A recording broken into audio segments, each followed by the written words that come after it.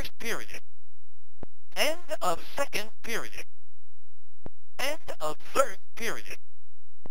End of fourth period. We will go into overtime.